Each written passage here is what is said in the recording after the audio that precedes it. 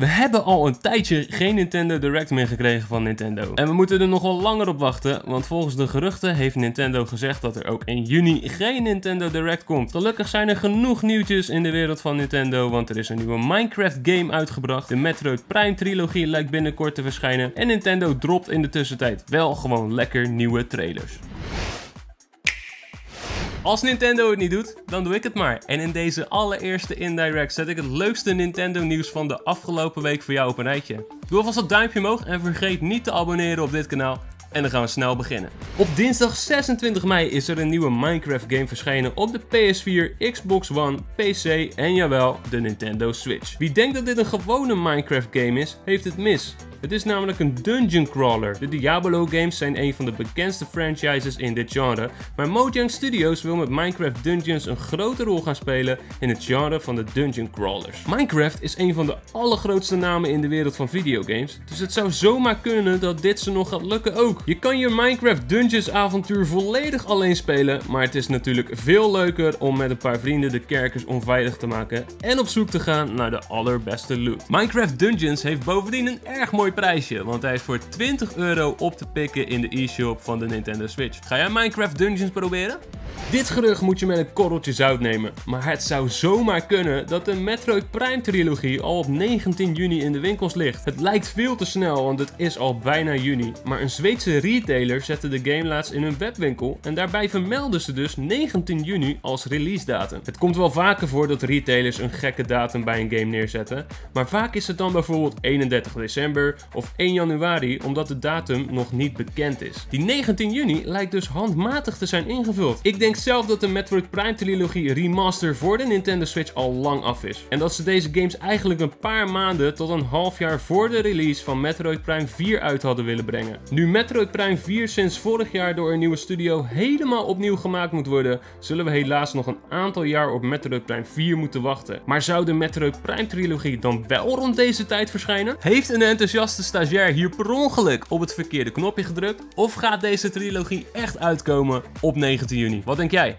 Dan even een leuk feitje tussendoor. Wisten jullie dat alle villages in Animal Crossing New Horizons dezelfde naam hebben in het Nederlands en het Engels, behalve eentje. Dit schaap heet namelijk Don in het Engels, maar in het Nederlands heet hij Donny. Zouden ze dit gedaan hebben omdat iedereen anders gewoon dit schaap een dom schaap gaat noemen?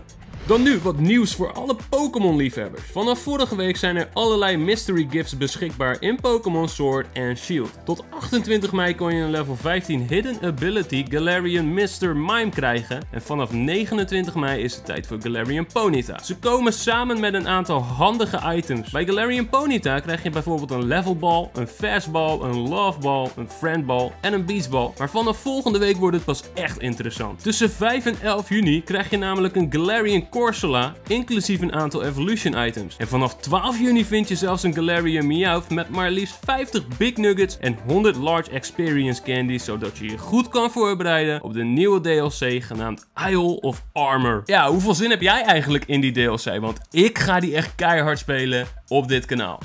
Alle Overwatch-liefhebbers zullen wel balen, want het grootste evenement van de ontwikkelaars van deze game is helaas afgelast. BlizzCon gaat namelijk niet door en er is pas in 2021 een online evenement in de maak. Dit online evenement zou in het begin van het jaar plaats moeten gaan vinden. Ja, en het lijkt er dus op dat we nog wel even moeten wachten op nieuws over Overwatch 2. Speel jij eigenlijk nog Overwatch? Of heeft bij jou ook Animal Crossing je hele wereld overgenomen?